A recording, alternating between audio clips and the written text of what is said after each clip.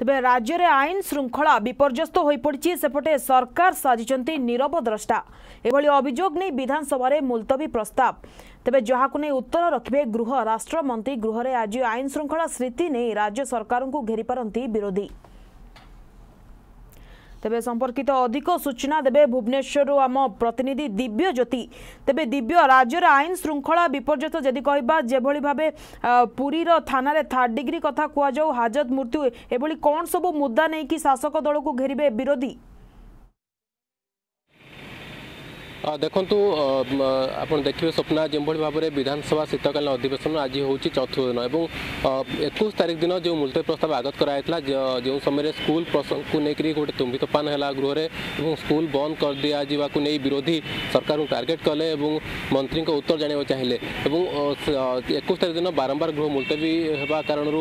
जो मुलतवी प्रस्ताव आसी आईन श्रृंखला पर्स्थित विपर्यस्त राज्य सरकार संपूर्ण नीरव दस्टा यही शीर्षक मुलत प्रस्ताव की आलोचना हो पार्ला গতকালি আপনার দেখবে গতকালি সম্পূর্ণ গোটিয়ে দিন স্কুল প্রসঙ্গে আলোচনা হয়েছিল এবং কৌশি নির্যাসরে পৌঁছিবা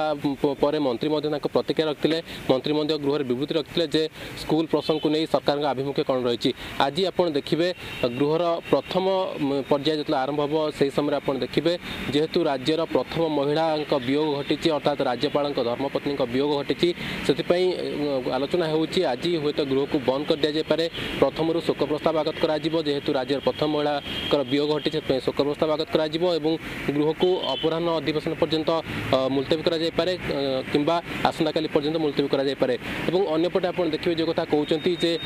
ଏକୋଇଶ ତାରିଖ ଦିନ ଯେଉଁ ମୁଲତବୀ ପ୍ରସ୍ତାବ ଆସିଥିଲା ସେ ଆଲୋଚନା ହୋଇପାରୁନଥିଲା ସେଥିପାଇଁ ଆଜି ତାକୁ ମୁଲତବୀ ପ୍ରସ୍ତାବ ଆକାରରେ ପୁଣି ଥରେ ଅଣାଯାଇଛି ବିରୋଧୀ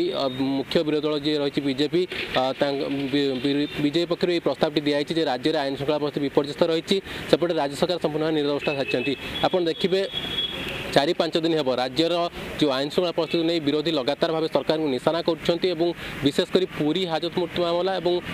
অন্যপটে দেখবে বীরমিত্রপুর হাজত মৃত্যু মামলা এই দুইটি হাজত মৃত্যু মামলাকে নিয়ে বিরোধী টার্গেট করছেন সরকার অন্যপটে পিপিলি প্রসঙ্গ যে চর্চাকে আহরি খোরাক যোগাইছে এবং বিরোধী আউ গোটিয়ে মুখ্য অস্ত্র হয়েছে যে কিভাবে ভাবে